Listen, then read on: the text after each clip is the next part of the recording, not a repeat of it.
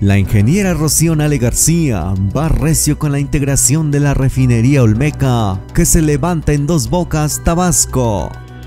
Esta es la obra emblemática del presidente Andrés Manuel López Obrador, que ha puesto a México en el plano mundial.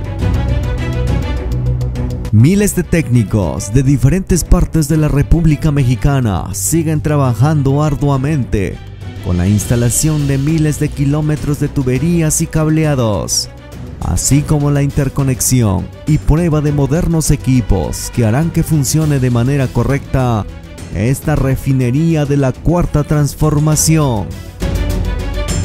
La ingeniera Rocío Nale, secretaria de Energía, confirmó que la refinería Olmeca en Dos Bocas, Tabasco, procesará su primer barril de petróleo el primero de julio del año 2023, un año después de que fue inaugurada por el presidente Andrés Manuel López Obrador.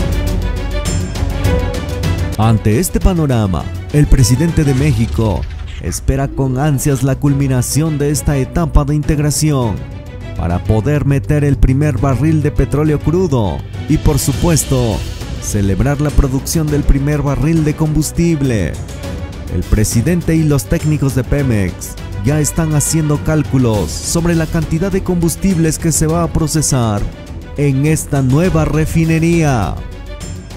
Y con esto llegar a la autosuficiencia energética en el país.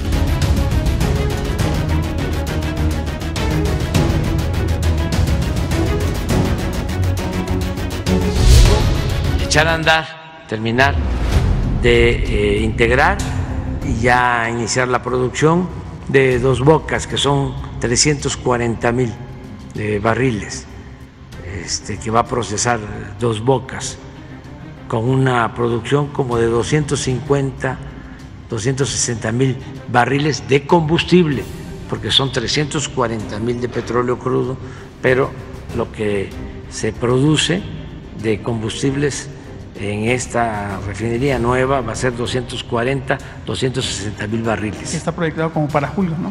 Sí, para mediados. Pero luego eh, tenemos que exprimir el combustóleo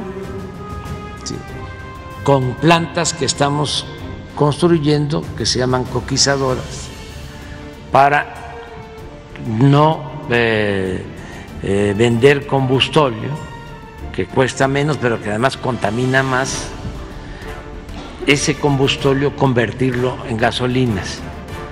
Y para eso se requieran dos plantas que estamos este, construyendo, coquizadoras.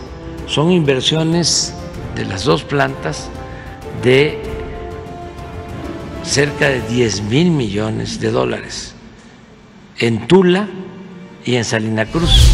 Estamos en la planta de cogeneración. Es la planta que genera vapor, que genera servicios. Está a cargo de Techin. Techin trae cinco plantas que están ya en total integración. Eh, esta planta es muy importante porque es la que nos va a generar electricidad, es la que nos genera vapor, es la que da servicios a toda la refinería. Esto nos va a dar autonomía a esta refinería. También eh, Techín ha avanzado en la planta de aguas amargas, en las plantas de aminas, efluentes. Vamos muy bien, vamos avanzando, al igual que la integración de almacenamiento y casas de bomba. Son bombeo muy alto, de mucha potencia, que tiene que jalar los productos para movilizarlos hacia los barcos, de la refinería, hacia el tanque de almacenamiento. En este tema también vamos ya en la integración muy avanzada. Estamos a 150 días para ver por primera vez encender todos los motores de la refinería Olmeca.